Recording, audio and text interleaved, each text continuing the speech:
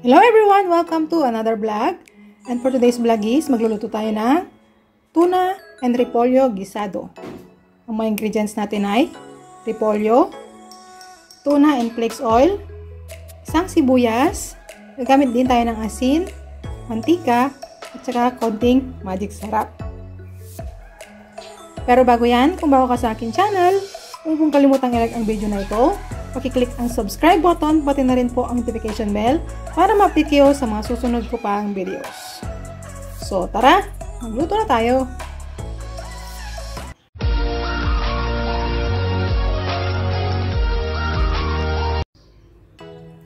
So, ang una natin gagawin is, ihiwain natin itong ating repolyo. Tanggalin muna natin yung kanya nasa gitna. Matigas. Yan. And then, hiwain natin ng maliliit.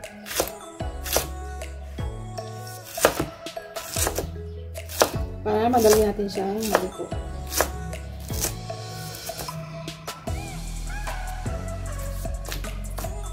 And then, ibabad natin sa tubig para matanggal yung kanyang mga dumi.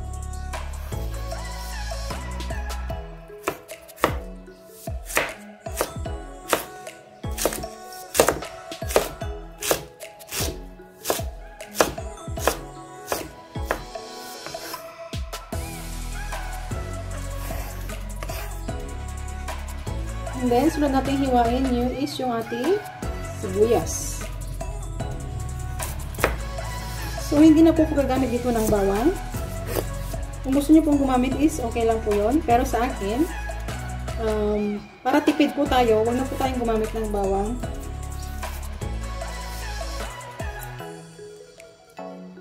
Kasi masarap naman po ito kahit wala siyang bawang. Importante meron tayong sibuyas.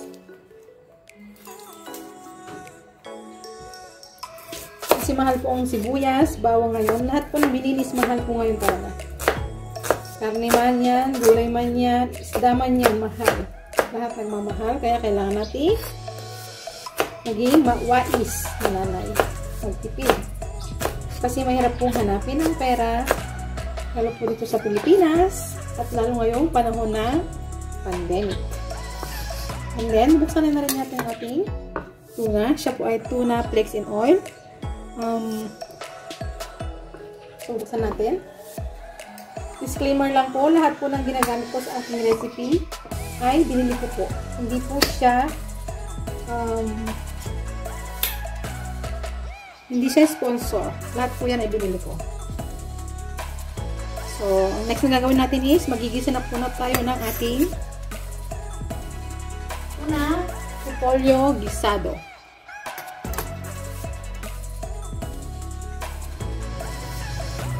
So, una natin gagawin is mag-init tayo ng kalan. Ayan, maglalagay tayo ng konting mantika.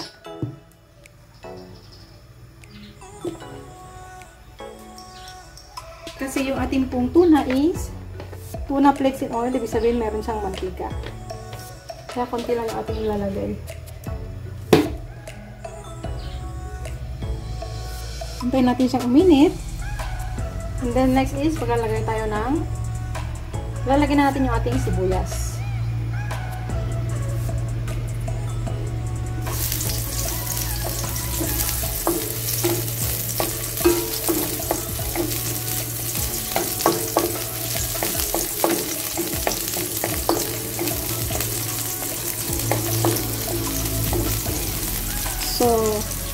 Lang natin siya hanggang siya ay maging trans transparent o siya ay mabanganan.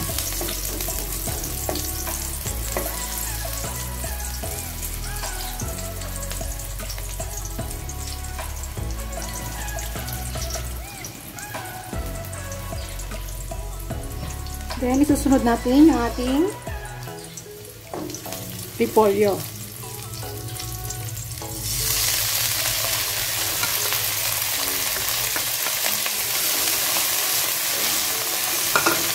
Kaya po natin muna yung repolyo kasi po yung ating pong tuna is malambot na siya. Para hindi siya masyadong madurog, kaya ihuli na lang natin siya.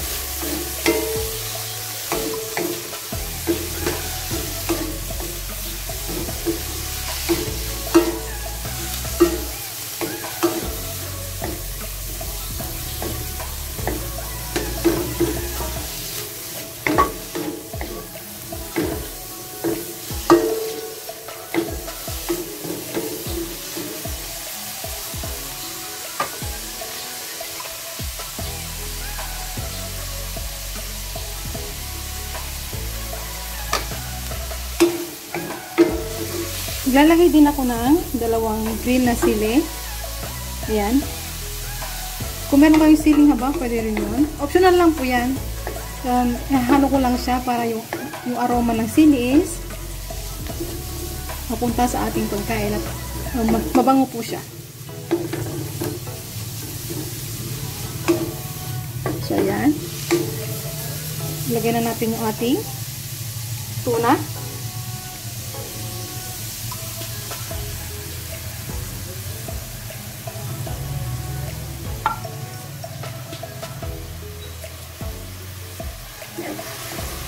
Hindi na ako naglagay ng tubig kasi meron namang oil yung ating tuna. So, hayaan lang natin siya. Ito lang natin siya ng about 3 minutes. Para crunchy pa rin ang ating repolyo.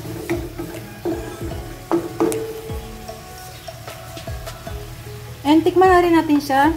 Um, tip ko lang, bago kayo maglagay ng asin, pag in, yung mga dilata yung ating gagamitin sa pagkain, istikman muna natin siya. Kasi minsan, meron na silang pampalasa. Kaya tikman natin. Para malaman natin kung meron na siyang lasa. Bago tayo maglagay ng mga asin. So, maglagay tayo ng konting asin.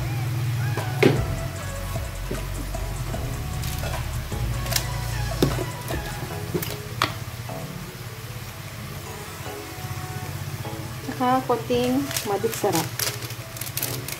Optional lang po yung madik sarap kung okay na sa inyo yung panlas, panlasa niyo yung lasa ng tuna, is huwag na kayo maglagay ng madik sarap. Sa akin kasi, yung mga kasama ko sa bahay is gusto nila ng malasa. Kaya naglalagay ako.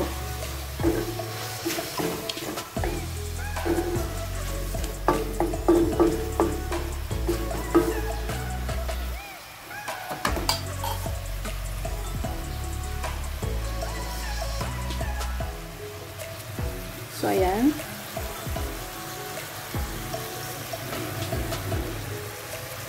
Ayan, maganda yung texture ng ating repolyo at saka yung ating tuna.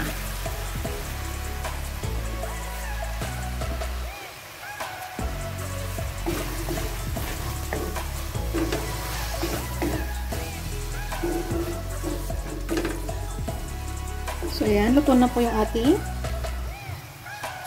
tuna repolyo guisado. Ililipat na po natin siya.